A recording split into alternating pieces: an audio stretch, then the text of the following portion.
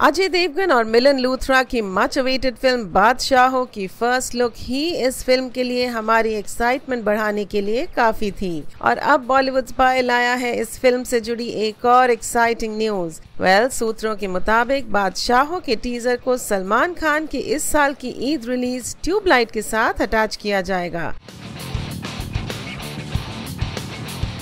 यानी इस ईद होगा एंटरटेनमेंट का डबल डोज आपको बता दें, सलमान खान इन दिनों एड़ी चोटी का ज़ोर लगाकर अपनी आने वाली फ़िल्म के प्रमोशन में जुटे हुए हैं। अब फिर से बात करते हैं बादशाहों की।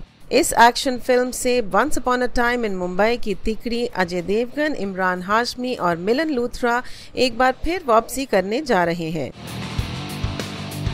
तो दोस्तों आपकी इस बारे में क्या राय है हमें अपने सुझाव बताएँ और कमेंट करें। और भी मसालेदार फिल्मी अपडेट्स के लिए सिर्फ़ और सिर्फ़ बॉलीवुड स्पाई के साथ बने रहे।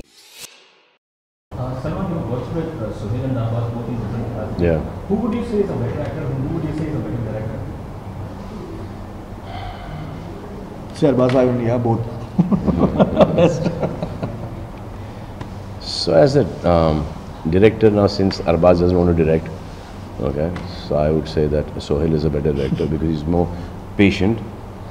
Okay, uh, Sohail के साथ आप improvise कर सकते हो, लेकिन अरबाज पैनिक हो जाता है अरबाज का बीपी ऊपर नीचे होना शुरू हो जाता है तो now this time we're going to start Dabang 3 there is a very good but I'm not going to direct it I'll produce it so I said very good we'll find a good director for that 对。